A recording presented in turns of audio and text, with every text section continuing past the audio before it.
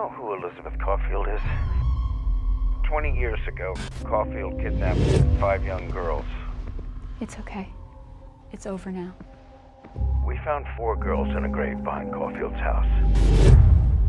The fifth one, the one that survived, is still here. I think Caulfield may come looking for her. I'd like you to make sure that doesn't happen. I'm scared.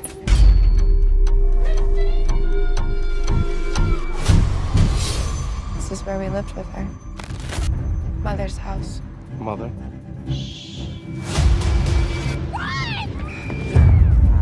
I have four people dead. They're all connected to you. What is going on? I don't know!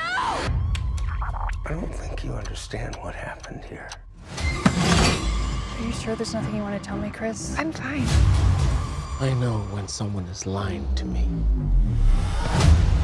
Let's play a game. One,